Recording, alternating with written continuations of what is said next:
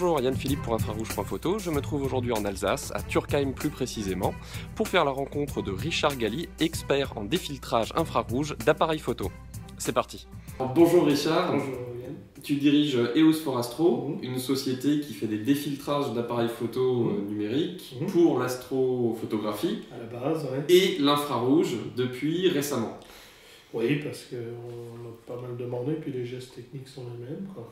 Et quelle est ton expérience professionnelle euh, Euh, dans ce domaine et en général même euh, Bah, je, moi, j'ai fait un BTS électronique il y a maintenant longtemps. Et Ouais. j'ai toujours été passionné par la technique photo et par les appareils photo.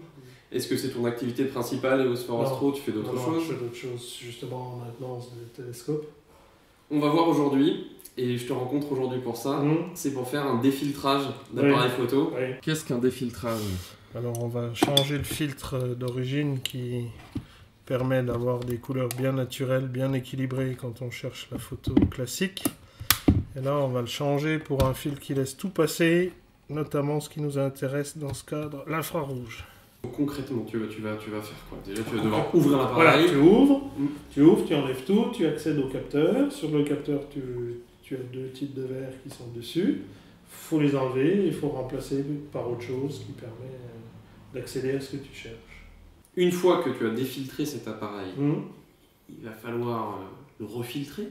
On enlève le filtre Oui. d'origine. Ben, disons que tu peux te permettre de ne rien mettre, mais si tu ne mets rien, tu as enlevé du verre. Le verre transforme la marche des rayons lumineux qui, qui, qui, qui passent à travers l'objectif. Donc euh, tu ne focalises plus au même endroit si tu ne remplaces pas. Déjà. Alors, c'est difficile. Mm. Donc bon, à la limite, tu peux rattraper le live view, mais tu ne focaliseras plus à l'infini. Parce que le faisceau va arriver plus près, il sera en avant du capteur sur l'infini, donc tu n'accéderas plus à la, à la mise au point à l'infini. Donc, euh, Problématique. voilà, problématique. Donc, à minima, il faut remplacer par un filtre qui laisse passer tout, ou presque tout, mais qui ait de la bonne épaisseur pour ramener le plan focal euh, à l'origine. Pour y accéder, il faut déjà enlever toute la carrosserie. Et sur ce modèle-là, c'est pas les vis qui manquent. Est-ce que c'est une opération risquée? Bah, disons qu'il peut y avoir un mort en route, euh, le boîtier. Voir l'opérateur s'il se prend un coup de, coup de charge du condensateur. Mieux vaut décharger le condensateur du flash. Sur certaines vidéos, on les voit foncer tête baissée, ça me fait toujours un peu rigoler, ça. Ça monte à 230 volts, hein, un condensateur quand même, hein, de flash. Est-ce que c'est une opération réversible si, si ton client change d'avis? Oui, mais alors c'est pas sympa, c'est pas sympa pour moi. oui, mais c'est beaucoup de travail pour pas grand chose au final. Euh, Pour revenir en arrière, c'est vraiment un peu, un petit peu délicat. Alors quel type de verre tu utilises pour remplacer le filtre anti-infrarouge en place sur les boîtiers Ouais, alors pour l'infrarouge, euh, j'utilise quasi exclusivement du shot. Sauf pour le full spectrum, euh, quand on n'a pas besoin de l'UV, je préfère l'astronomique, qui est donc une marque allemande Ouais. euh, qui fait du bon boulot. Et le gros avantage, c'est que le filtre est traité multicouche, celui-là. Contrairement au shot, parce que comme il laisse passer l'UV, tu peux pas avoir de traitement multicouche sur l'UV, ça passe pas. Donc euh, l'astronomique est bien pour le full spectrum. Par contre, quand je mets directement l'IRPAS sur le capteur, là c'est du shot.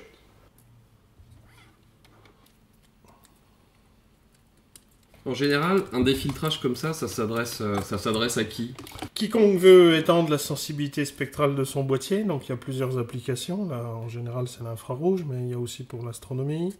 Il y a pour des applications scientifiques. Il y a des restaurateurs de tableaux qui aiment bien voir un peu ce qui se passe derrière, donc ils ont besoin aussi de l'infrarouge. Donc il y a différents types de défiltrage, c'est ce que tu nous C'est dis. tout à fait ça. ouais. Ça dépend. Après, tu choisis en fonction du filtre que tu remets. Quoi. Le refiltrage est différent. Dans tous les cas, c'est fait pour, euh, pour accéder à, d'autres lumières que le, boîtier d'origine ne permet pas. Et c'est tout simple. C'est à la base le, silicium, le- ce, qui, ce qui compose le capteur, est plus sensible dans le rouge que dans les autres couleurs. Donc si on laissait sans filtre un capteur comme ça, il, serait, il donnerait des images toutes rouges. Les fabricants posent volontairement un filtre bleuté et, euh, et un autre qui coupe les infrarouges. Le bleuté pour rétablir une balance beaucoup plus facile. Et donc quand tu défiltres pour de l'infrarouge, Hum. majoritairement, c'est à quelle longueur d'onde que tu refiltres l'appareil ensuite? Ah ben, que- le grand classique c'est 715 ou 720 selon, selon les, les fabricants. C'est le grand classique infrarouge, mais il y a notamment euh, un petit effet de mode sur le 590, là, le, celui qui fait des tons dorés. Donc ça, ça marche pas mal. Combien de temps ça te prend en général pour un, Ah. pour un boîtier? Disons un boîtier acheté euh, ces, euh, ces trois dernières années. Ça va dépendre du filtre que tu remets derrière, parce que certains sont, sont parfaitement adaptés, ils vont en lieu et place. Quand on est un petit peu dans des filtres exotiques, des fois il n'y a pas le choix, il faut les retravailler, et il faut, il faut les remettre à mesure, donc ça peut être assez long. Disons que l'opération en elle-même de démontage-remontage peut être faite assez vite quand on a l'habitude. Euh, la pose du filtre, ça peut être beaucoup plus long, ça peut être plus délicat, donc on est minimum sur 2-3 heures de travail quand même. hein. Tu es en train d'entrer dans l'appareil. Voilà la bête. La bête. Alors on va déjà enlever l'écran. Donc, Ces petits connecteurs de rien du tout là. Alors ça c'est fragile. Il faut vraiment y aller mollo. Donc on va aller voir si le flash est chargé. Parce que je ne sais pas. Il y a des protections qui sont, là. Ce qui veut dire qu'en dessous c'est sous tension quand le condensateur du flash est chargé. En l'occurrence il est là. Voilà, c'est les deux picots là. C'est les deux picots là. Donc là, il faut faire particulièrement Alors, là, attention. là, je vais le décharger. Je vais Ouais. regarder si- s'il est sous tension, puis s'il l'est, ben, on va le décharger, comme ça on sera tranquille. Ouais, histoire de pas risquer Mais- de s'électrocuter. Voilà. Eh ben, il n'y a pas de quoi avoir peur. non, il n'y a rien. Y a rien. Alors, si on défiltre pas, on peut faire de l'infrarouge malgré tout, avec un boîtier non modifié, On peut. pas récent de préférence. Euh, Oui, c'est mieux parce que plus on avance et plus les filtres sont vraiment anti-infrarouge. Mhm. Donc, euh, on peut, euh, au prix de, de temps de pause qui est très long, donc euh, ça limite les sujets. On est plutôt sur trépied, donc c'est paysage, mais pourquoi pas, pourquoi pas? Mais il y a des appareils dont le filtre anti-infrarouge en place est très très performant et empêche presque toute possibilité de prise de vue Ça, infrarouge. ça, c'est chez les Sony. Il n'y a, rien, il y a quasiment rien. C'est toujours pour des histoires de balance des blancs en diurne. hein. Donc ils ont, là, ils ont fait un filtre qui est très très sélectif et qui est empêche quasiment. Et on est à plusieurs minutes de pause. hein. On est revenu au temps de Nadar. et ceci dit, pour faire ses premières armes, c'est bien. Ça permet de, voir un peu comment, ça se passe, surtout sur la partie traitement, d'avoir des fichiers corrects. Voilà. Chauffe un petit peu pour que je décolle plus facilement. Voilà, on vient doucement au bout. Oui, à part ce fameux condensateur, euh, quelles précautions particulières tu dois prendre lorsque Ah, tu fais un défiltrage? Bah, tu vois, avoir un minimum de place, avoir les outils euh, tout bien sous la main, un peu un minimum d'ordre parce que sinon on peut faire une bêtise. Et puis surtout, il faut y aller doucement. hein. On en parlait ensemble tout à l'heure, mais est-ce qu'il y a des modèles qu'on ne peut pas convertir? Il y a des modèles qui sont très très difficiles. oui. Il y a des modèles où, ils sont... où c'est quasi impossible, c'est faisable, mais alors il faut vraiment beaucoup beaucoup de patience. Les nouveaux Sony, là, la, la 7R2 est très très difficile, mais faisable. Puis il y en a d'autres où volontairement il y a des clips en plastique qui cassent, etc. Donc euh, ceux-là, mieux vaut les éviter. Mais c'est en général pas. C'est des petits compacts, c'est pas les. Pas les réflexes ou les, ou les mirrorless d'une certaine gamme. Là. En général, ça va. Certaines personnes font des défiltrages euh, maison Oui, en bah. suivant des tutos YouTube. oui. Donc, euh, est-ce qu'il y a des précautions particulières à prendre pour ces gens-là? Est-ce que tu leur, euh, est-ce que tu recommandes de, de se lancer seul dans un défiltrage? Pour- pourquoi pas? Il faut, il faut se sentir, il faut un minimum d'outils, il n'y a pas besoin de grand chose. Il faut un très bon tournevis, il faut deux, deux, trois, deux, trois pinces. Ça- pourquoi pas? Mais surtout faites attention au condensateur. On en parlait tout à l'heure, mais il y a peu de gens qui mettent ça en, en exergue, mais il faut quand même faire attention à ça. hein. Combien ça coûte si tu veux défiltrer un... Si on veut défiltrer un appareil chez EOS euh, Fort Astro, Entre, alors pareil, ça dépend du modèle, ça dépend Ouais. de ce que tu veux. du filtre, Alors, entre 260 et 350, 400 pour certains très, modèles très difficiles. Quoi. enlever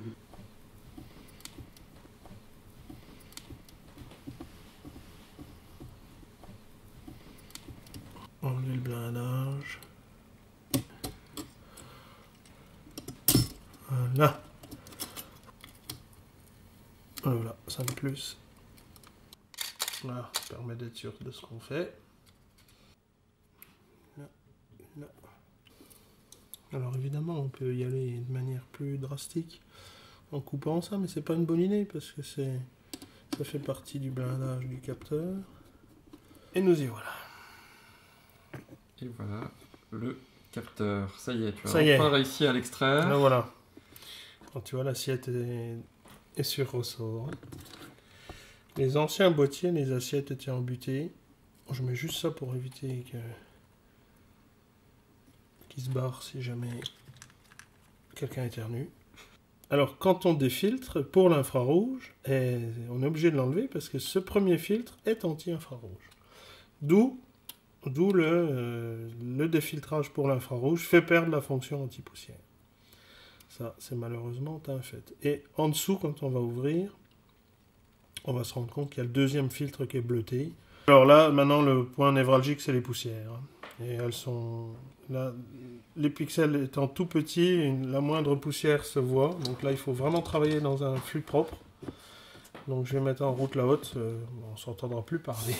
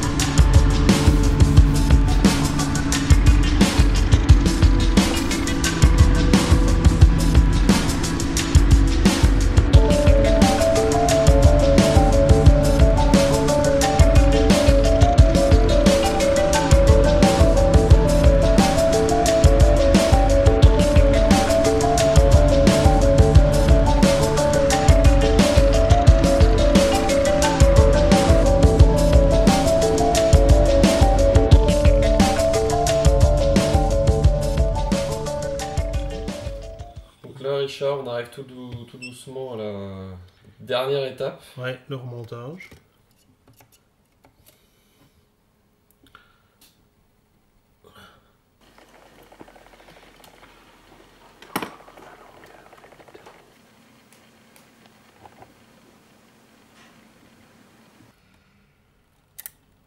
Voilà, la propreté du capteur. On les vis après. Si jamais il y a un connecteur qui est mal mis, pas la peine de remettre toutes les vis pour se rendre compte que ça va pas. Donc on se rend compte, Richard, que tout au, tout au cours de, ce défiltrage, tu as des dizaines d'étapes de contrôle mm. qualité. Ah oui, Donc là, on arrive à la dernière. Qu'est-ce que, qu'est-ce que tu contrôles en, fin de, en fin de course? Là, je vérifie tous les menus, tous les boutons, que tous les boutons sont fonctionnels pour que ce soit exactement comme, euh, comme avant au nettoyage près puisqu'il est perdu. Et puis en toute fin, là, je vais remonter les vis et après je vais faire un, une image fortement diaphragmée pour vérifier l'absence de poussière. Bon, j'ai pas d'inquiétude comme je vérifie quand je remonte le capteur, mais histoire d'avoir un fichier propre, vérifier que tout va bien. Je F16, je balade dans l'image, voilà, là il n'y a rien, c'est bon. C'est bon, donc il n'y aura rien, euh, rien dans le ciel, rien... Ouais, c'est bon. Oui. Évidemment. F16, c'est sûr que. Là, on voit bien le flux de lumière rouge et infrarouge.